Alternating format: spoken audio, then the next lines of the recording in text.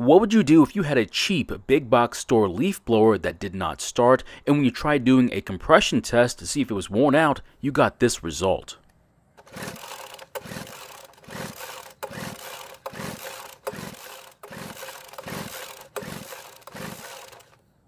With a reading this low, most sane owners would put it on the curb so someone else could fix it because, to be honest, most repair shops wouldn't even touch it. However, I'm not a shop, just a guy with too much time on his hands and a bag of tools. So I'm going to tear this blower apart so I can at least find out why it won't start and then see if I can fix it and hopefully I can do it without paying for any new parts.